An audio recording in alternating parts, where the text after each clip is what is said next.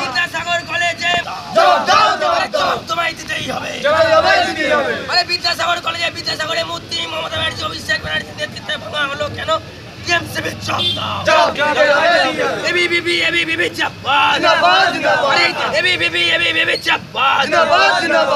বর্ণ পরিচয়ের জন্য কৃষ্ণচন্দ্র বিদ্যাসাগরের মূর্তি ভাঙা হলো কেন? মমতা ব্যানার্জি জবাব দাও।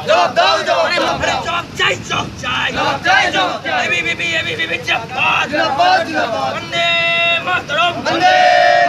ভারত মাতা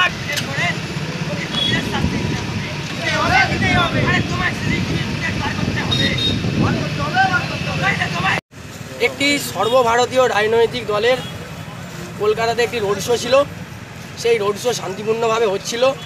সেই রোড শোয়ের ওপর মমতা ব্যানার্জি এবং অভিষেক ব্যানার্জির নেতৃত্বে তৃণমূল ছাত্র পরিষদ ও তার বহিরাগতরা হামলা চালায়। আর তারা বিদ্যাসাগরের মূর্তি ভাঙচুর করে। বিদ্যাসাগরের মূর্তি তারা টিএমসিবি নেতৃত্ব, মমতা ব্যানার্জির আদেশে ভাঙচুর করে, কিন্তু এখন পর্যন্ত মমতা ব্যানার্জি সিসিটিভির ফুটেজ বার করতে পারেনি। উনি বলছেন নাকি সিসিটিভির ফুটেজ নেই প্রকৃতদোষীদের শাস্তি দিচ্ছেন না। আমরা এবিবিপি হচ্ছে শান্তির পক্ষে আমরা মূর্তির পূজা করি।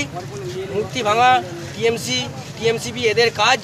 তাই মমতা ব্যানার্জি আর মমতা ব্যানার্জির নেতৃত্বদের প্রতি ধিক্কার জানাই।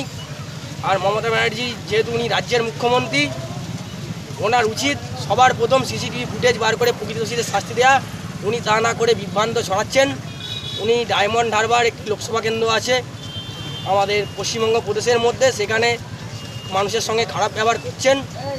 ওই ঘটনাটাকে ঢাকা দেওয়ার জন্য উনি ওনার পেটোয়া কিছু গুন্ডা দিয়ে বিদ্যাসাগর কলেজের মধ্যে বিদ্যাসাগরের মূর্তিটা ভাঙচুর করেন করে উনি একটু মিথ্যার ঘটাচ্ছেন। আপনারা চাইছেনটা কি? আমরা চাইছি প্রকৃতদোষীদের শাস্তি হোক মমতা ব্যানার্জি সিসিটিভির ফুটেজ বার করুক কারণ মমতা ব্যানার্জি সিসিটিভির ফুটেজ বার করতে ওনার ভয় লাগে। কারণ উনি সারদা নারদার তথ্য যেভাবে বাইরে পাচার করেছেন উনি সিসিটিভির ফুটেজে এইভাবে পাচার করেছেন। আমরা এবির পক্ষ থেকে মমতা ব্যানার্জিকে বলতে চাই সিসিটিভি ফুটেজ বার করে ওই বিদ্যাসাগরের মূর্তি যারা ধ্বংস করেছে, তারা প্রকৃত দোষী যারা, তারা যেন শাস্তি পায়। শুভঙ্কর খাঁ এবিবি আরামবাগ নগর সম্পাদক। শুভঙ্কর খাঁ।